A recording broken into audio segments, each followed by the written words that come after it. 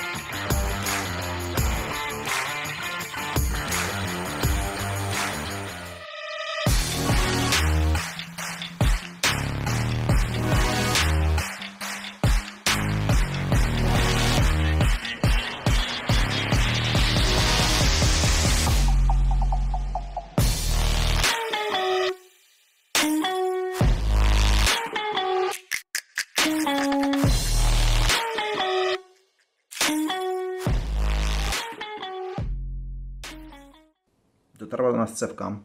Nie, zdecydowałem się na wymianę samych świat z wymiany cewki e, z tego względu, że jest tutaj dość dużo rozbierania, żeby dostać się do, do właśnie, e, właśnie tych cewek i świec. Więc zdecydowałem, że zamówię cewkę używaną, przełożę na tą uszkodzoną i, i, i, i, i, no i założę i zobaczymy co będzie. Na nową cewkę trzeba było czekać od 7 do 14 dni, a klient no, trwa sezon, chce jeździć, chce korzystać, więc mm, czas, czas gra kluczową rolę.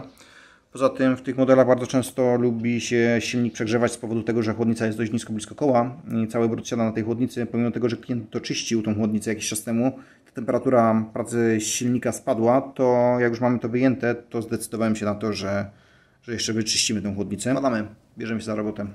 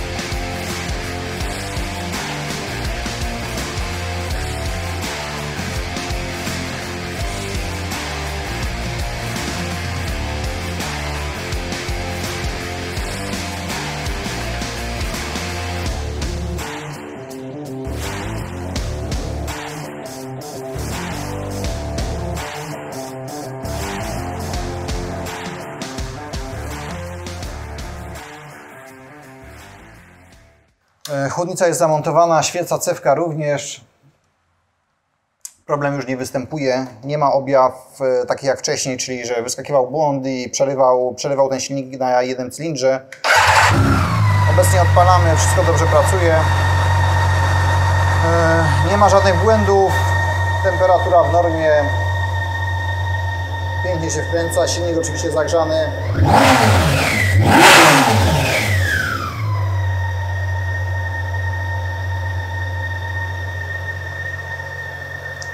Wszędzie polała mi się woda, no z tego względu, że zapomniałem sobie zakręcić e, zapomniałem sobie zakręcić śruby od spuszczania, spuszczania wody z silnika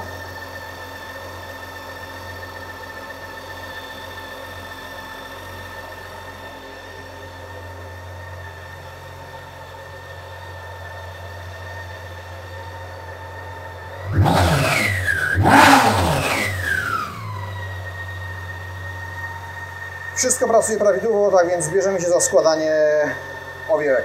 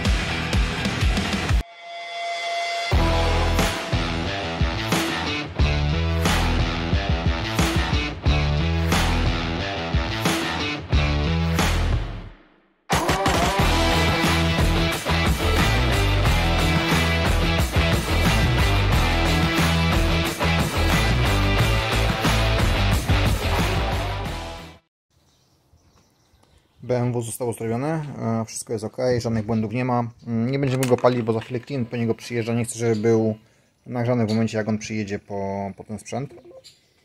Mm, I co? Wszystko jest ok. Świeca, świece zmienione, cewka również. Nie ma już szarpania, nic się nie dzieje. Mm, co więcej mogę powiedzieć? No, chłodnica została umyta, wyczyszczona. I sprzęt jest gotowy do do jazdy i odbioru. Został dolany litr oleju do silnika. To wszystko. Koniec prac związanych BMW GTL 1600. Hej.